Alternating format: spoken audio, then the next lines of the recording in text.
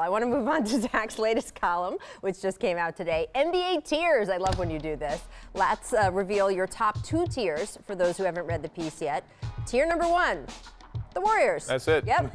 That's it. They're their own tier. There we go. Next, Zach has four teams in what he calls the quote, hoping for an ankle sprain tier. That's fantastic. Sorry. The Cavs, Thunders, Rockets, and Spurs. I mean, look, we saw Steph Curry lighting up the Wolves yesterday. I'm not sure there's an answer to this question, but Stephen, if you look at his ankle tier, who do you think maybe could jump into the Warriors tier?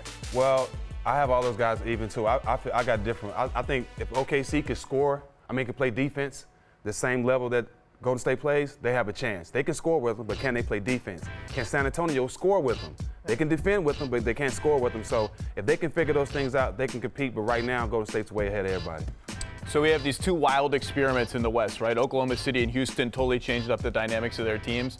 Whichever one of those hits, right. I think that's the answer. Whether it's Houston is a little deeper, I think can go with five wings, which is what you need to play the Warriors. And Oklahoma City, I think has the higher upside just because of the stars, but they're a little thin. I feel like they're one little move away. And Cleveland gets to play in the junior varsity, so it's like it's it's a whole different thing.